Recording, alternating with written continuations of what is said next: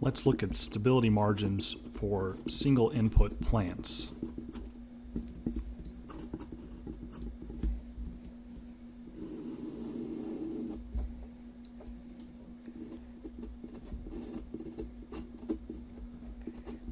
To get started, consider the feedback diagram.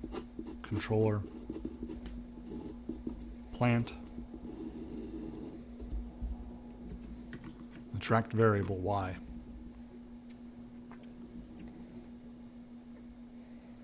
Stability margins are concerned with gain and phase disturbance at the plant input.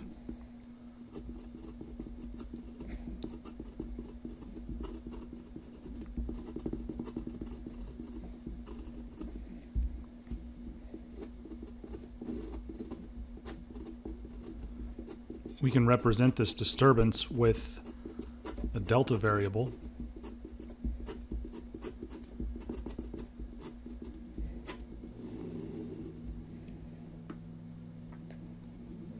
Where delta is a gain multiplied by a phase term.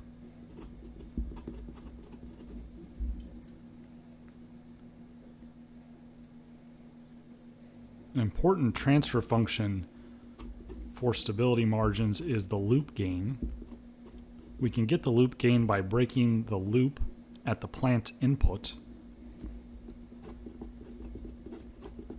Looking at the transfer function of u out over u in, neglecting the reference command r. We see the loop gain up here, denoted LU of S U just denotes that it's at the plant input.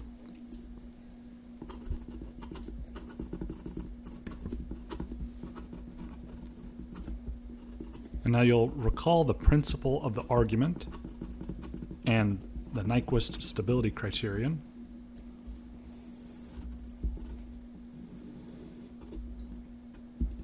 Real imaginary plane, critical point, and loop gain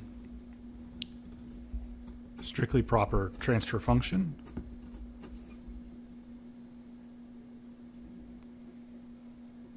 So according to Nyquist, we're stable if the number of encirclements is equal to minus the number of open loop poles, where clockwise encirclements are positive and counterclockwise are negative.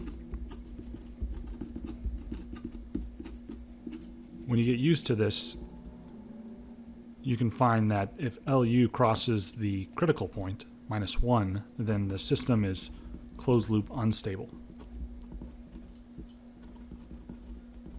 But Nyquist also shows us nearness to the critical point, and that leads to the measure of robustness in terms of gain and phase uncertainty captured in the delta block. In particular, two phasors of the loop gain are of interest. One will denote at the frequency omega 1. The phase angle of the loop gain is minus 180 degrees. For the second phasor of interest, we draw the unit disk around the origin. And then the phasor, or the loop gain evaluated at frequency, call it omega 2, that intersects the unit disk. Our stability margins related to gain and phase disturbance are derived from these phasors.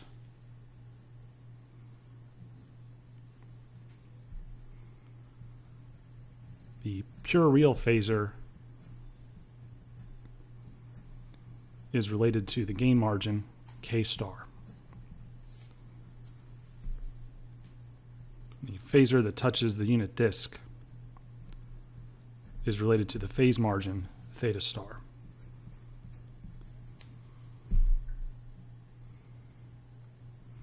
In the follow-on to this video, we will derive formulas for K star and theta star, or collectively referred to as the stability margins. For this, we'll use the delta uncertainty model. We'll also show how stability margins can be misleading. This will lead us to develop the return difference transfer function and the concept of vector margin. We'll also discuss cases of multiple margins and how to select the most conservative margins when there are more than one.